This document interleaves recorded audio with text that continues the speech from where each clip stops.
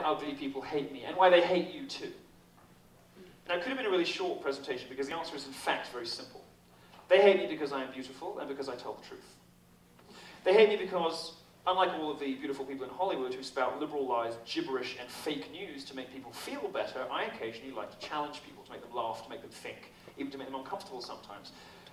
But the only thing that gets me off more than the thought of being captured by Somali pirates is sound of my own voice.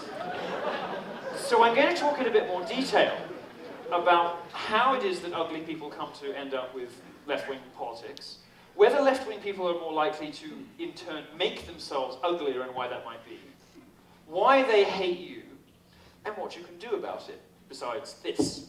Um, ugly people have always been the leaders of every